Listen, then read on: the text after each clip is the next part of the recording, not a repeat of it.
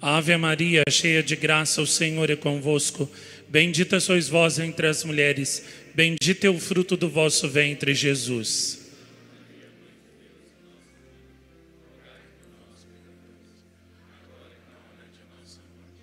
Glória ao Pai, ao Filho e ao Espírito Santo.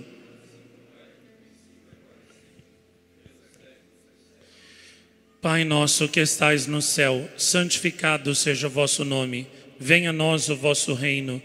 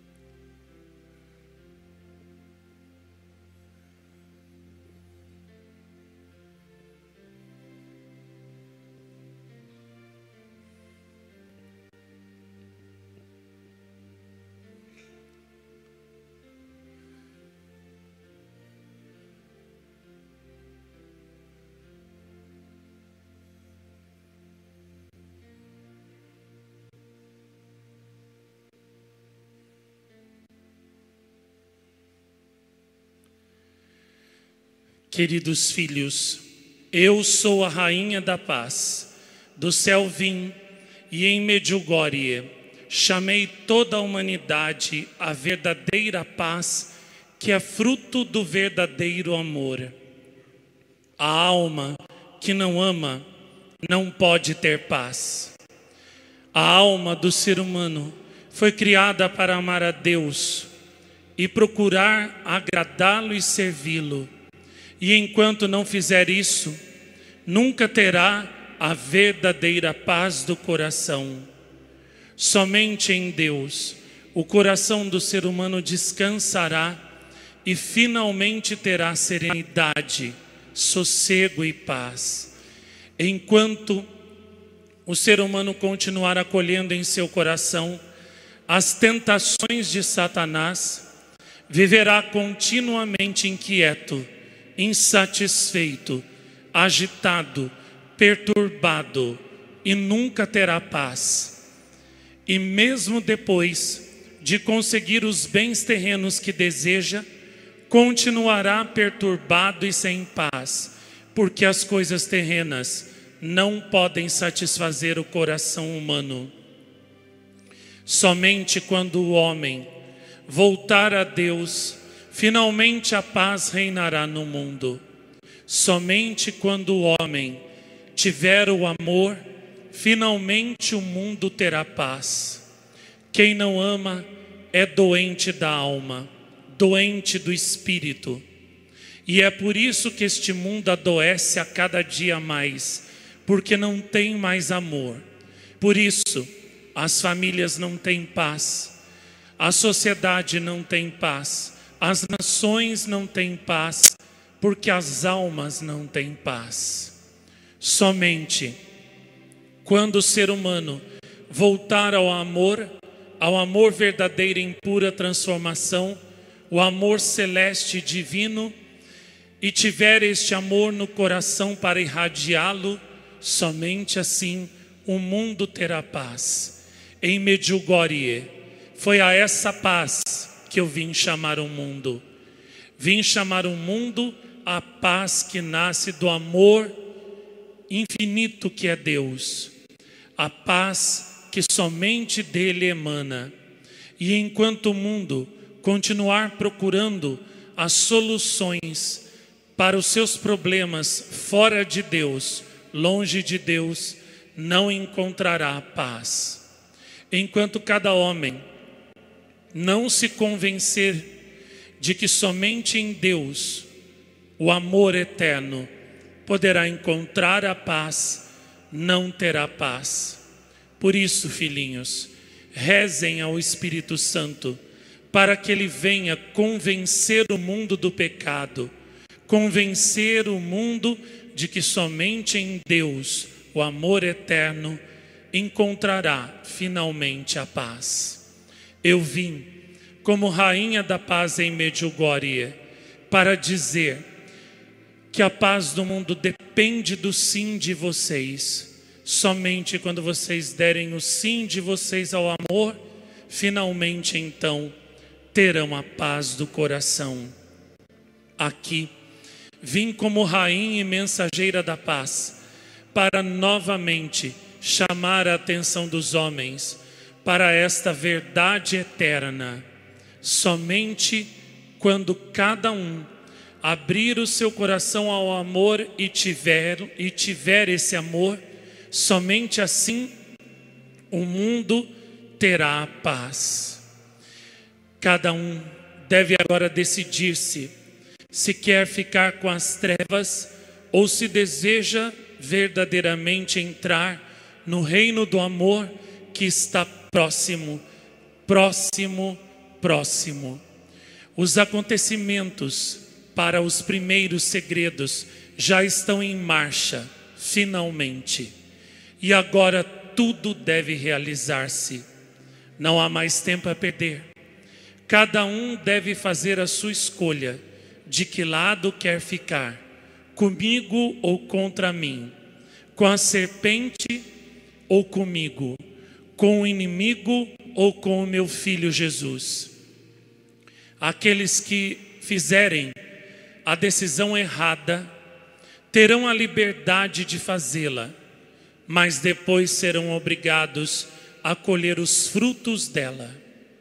Aqueles que escolherem a mim entrarão no novo tempo, no novo mundo do amor, que desde La Salete, Lourdes e Fátima eu tenho preparado com as graças eficazes da minha chama de amor e com as orações, sacrifícios e sofrimentos de tantos filhos meus que, atendendo ao meu chamado, se uniram a mim como rosas místicas no mundo todo para me ajudarem a preparar com lágrimas, com súplicas, com orações e sacrifícios heróicos a chegada desse novo mundo do amor. Sim, meu filho Marcos, os seus sacrifícios, sobretudo desta noite, da sua dor de cabeça que foi tão intensa, serve para preparar a chegada desse novo mundo do amor, essa nova era do amor que vai tomar conta do mundo inteiro e vai finalmente aniquilar a era das guerras, a era do ódio, a era de Satanás. Sim, a era do fogo, a era do ferro passará e finalmente a era de ouro chegará esse tempo que o meu coração imaculado prepara e espera com ansiedade. E você, meu filhinho, com seus sacrifícios, com os rosários e terços meditados que você fez, com os filmes das minhas aparições e cada cenáculo feito por você, abrirá este novo mundo. Você é a chave e a passagem para levar os meus filhos a este novo tempo de paz, a este novo mundo do amor. Sim, somente você pode abrir o caminho para que eles passem, tal como o povo eleito passou pelo mar para chegar à terra prometida. Somente a você foi dado conhecer e saber o caminho. Somente você sabe e pode chegar até lá.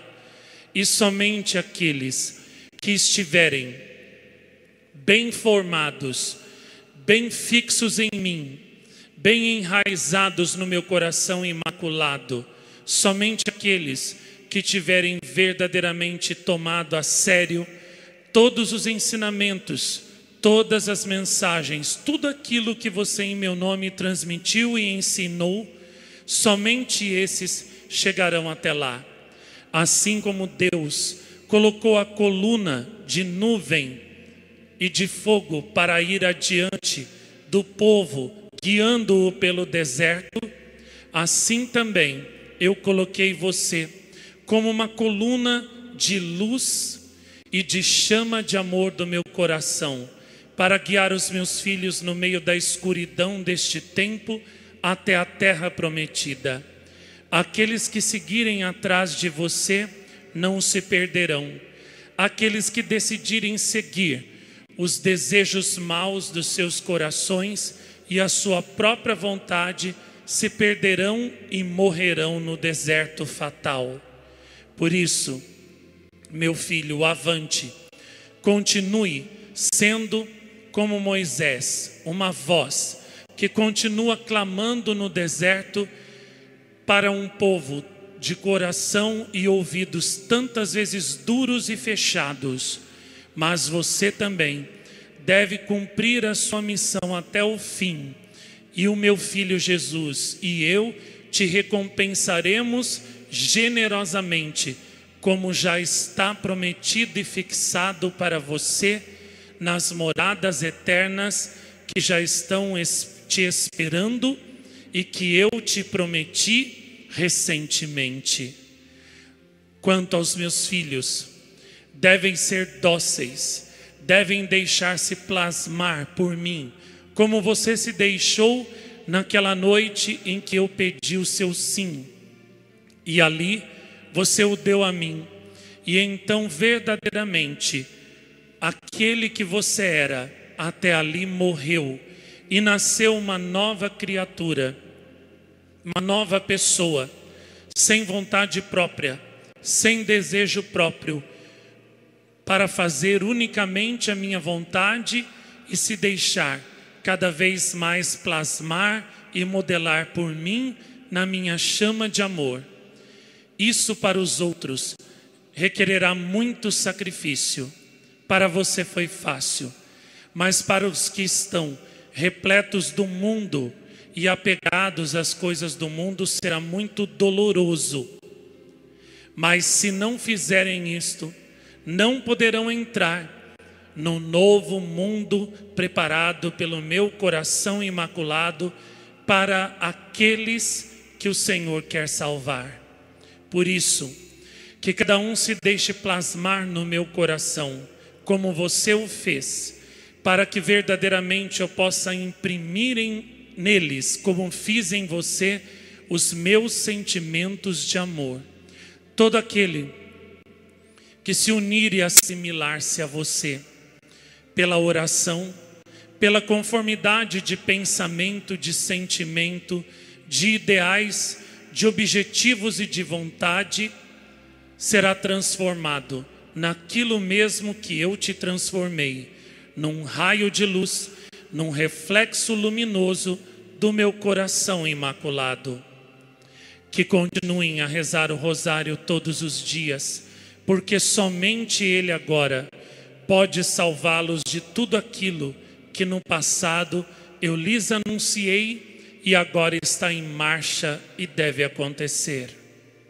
Quanto a você, meu filhinho Marcos, você ofereceu para mim novamente hoje os méritos dos filmes da minha aparição em Medjugorje e também do rosário meditado.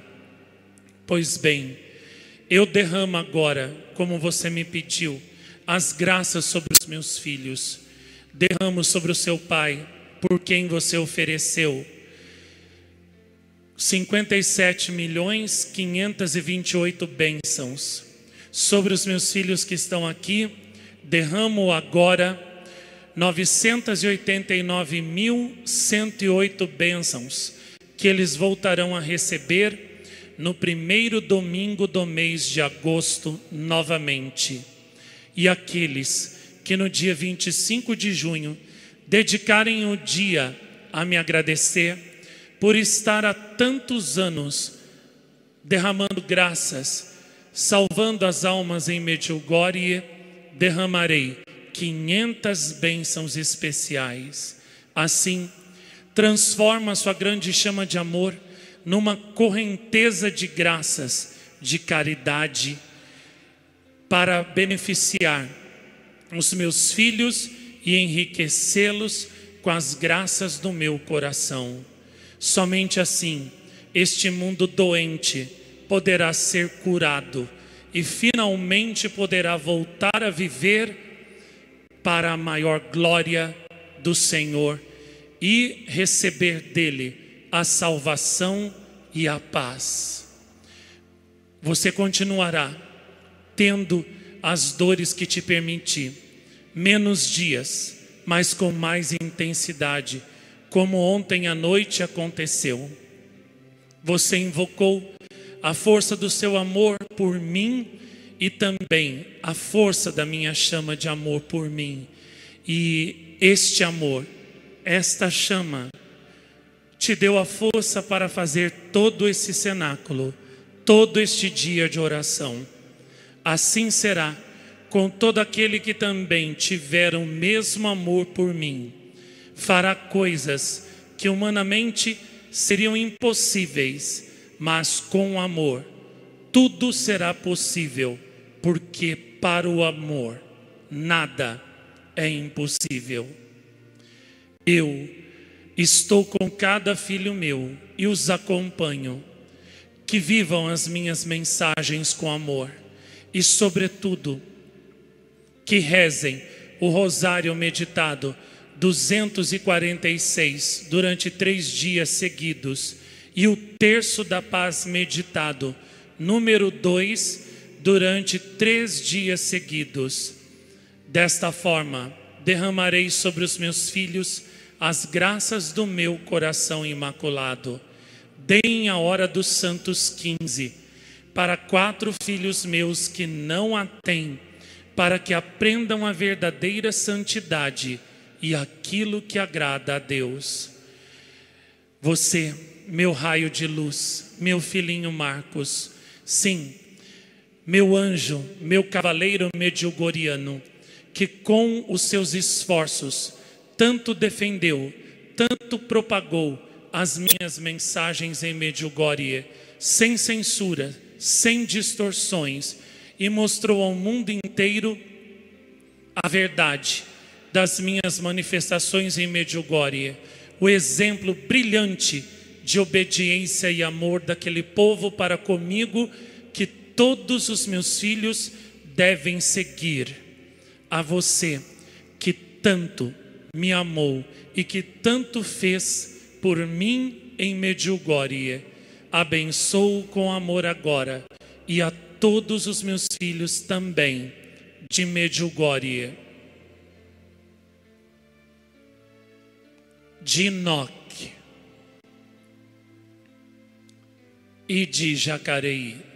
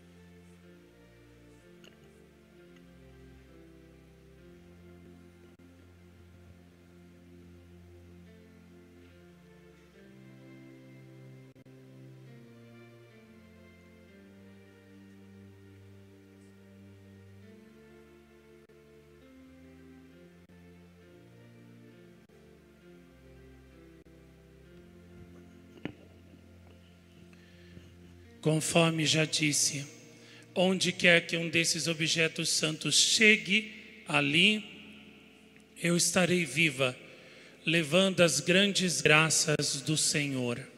São Paulo da Cruz e também Santa Gema deverão acompanhar todos esses objetos, derramando as graças aonde quer que forem. Avante, meus filhos, continuem com todas as orações que eu lhes pedi. E vocês que estão longe da oração, voltem a ela e rezem, rezem, rezem, pois somente a oração pode salvá-los de tudo aquilo que Satanás preparou para vocês.